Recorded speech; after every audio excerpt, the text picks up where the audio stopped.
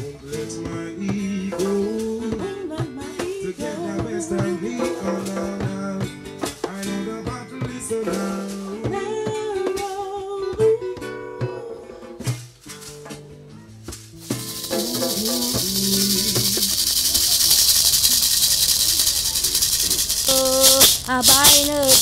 Mabrika, Mabrika.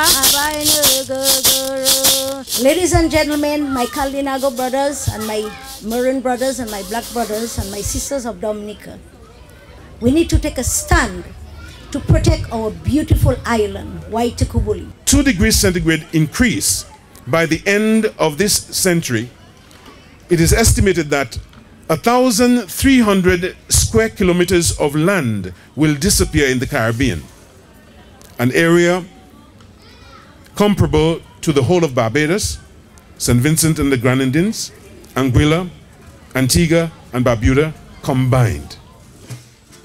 mayhem and cataclysm, storms unprecedented, hurricanes and earthquakes. Mother Waitukubuli and our ancestors, the, our secret um, cassava food. Whether we like it or not, the damage has already been done. Climate change is here to stay.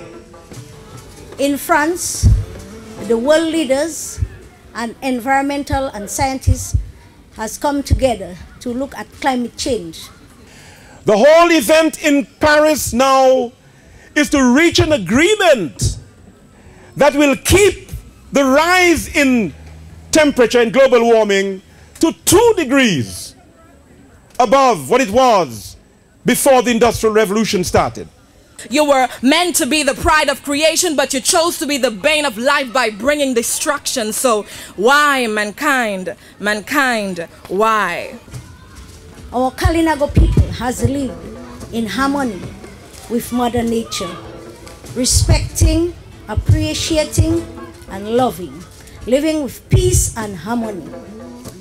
The world has already heated to one degree over what it was before the Industrial Revolution. Our goal is actually to bring about awareness to the youth of Dominica. All these people have come together to start building bridges to discuss how we move forward in a sustainable way. What kind of world do we want to leave to those who come after us?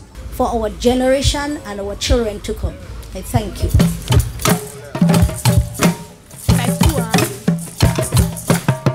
Are responsible to care for our land, to fight climate change. This is our plan.